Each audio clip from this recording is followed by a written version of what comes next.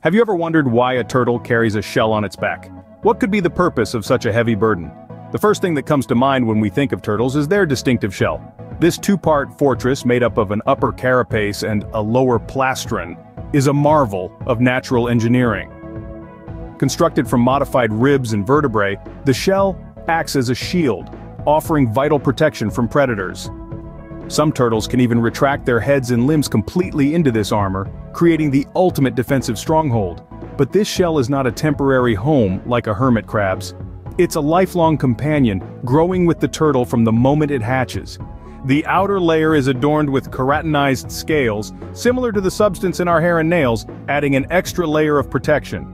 Turtles are a diverse bunch, with over 350 species dotting the globe. They range from sea turtles, who spend most of their lives in the ocean, to freshwater turtles that make their homes in lakes, rivers, and ponds, and tortoises, land-dwelling turtles that rarely venture near water. Size varies wildly among these species. The leatherback sea turtle, the largest of the lot, can reach lengths of over 2 meters and weigh a staggering 600 kilograms. On the other end of the spectrum, you have the speckled padloper, a petite freshwater turtle from South Africa that is about the size of a dollar coin. Turtles are masters of adaptation. Sea turtles have sleek bodies and limbs that resemble paddles, perfect for navigating the ocean's depths. They also have special glands that allow them to excrete excess salt, a necessity for living in a saltwater environment. Tortoises, on the other hand, are built for life on land. Their sturdy legs and dome-shaped shells equip them for traversing rough terrains. Some sport sharp beaks for tearing vegetation, while others can store water in their bladders to survive in arid environments. Freshwater turtles display an array of adaptations. Some have webbed feet for swimming, others have flattened bodies for climbing, and some are equipped with powerful claws for digging. Turtles are generally slow movers, a strategy that helps them conserve energy and evade predators.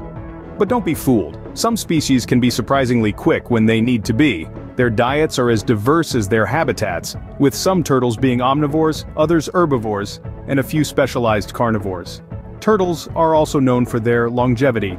Some species, like the giant tortoise, can live for more than a century, earning them a spot among the longest-lived vertebrates on Earth. Scene script, but turtles aren't just fascinating creatures, they also play a crucial role in their ecosystems. As they move through their habitats, consuming fruits and berries, they become champions of seed dispersal. The seeds from these fruits pass through their digestive system and are deposited in new locations, helping to regenerate plant communities.